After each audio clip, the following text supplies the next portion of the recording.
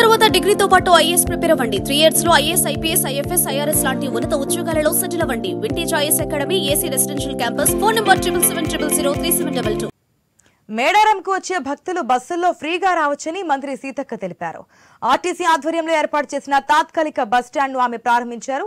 పూజా కార్యక్రమాల అనంతరం RTC queue లైన్లు టికెట్ కౌంటర్ను రిబ్బన్ కట్ చేసి ఓపెనింగ్ చేశారు.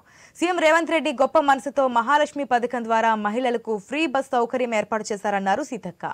ఆర్టీసీ డ్రైవర్లు కండక్టర్లు ప్రయాణికులతో మర్యాదగా మెలగాలని మంత్రి సీతక్క కోరారు.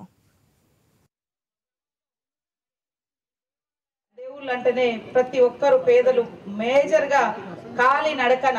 రూపాయి లేకున్నా కూడా దర్శనం అయ్యేటువంటి ప్రా దేవాలయం ఎక్కడన్నా ఉంది అంటే మన సమ్మక్క సార్లమ్మ.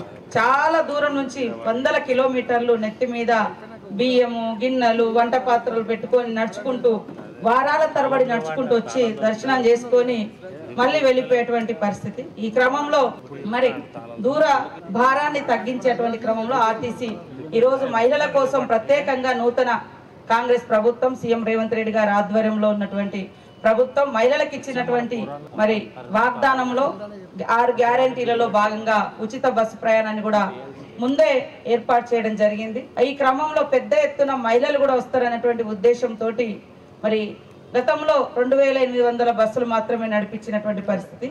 ఈసారి డబల్ చేసేసి సిక్స్ థౌజండ్ బస్సెస్ కూడా పెంచడం జరిగింది. అన్ని రకాలుగా ఫ్లెక్సిబుల్గా ఉండే విధంగా జా ఈ యొక్క బస్ స్టాండ్ ఏరియాను కూడా ఎక్స్టెండ్ చేయడం జరిగింది. ఈ దేవాలయం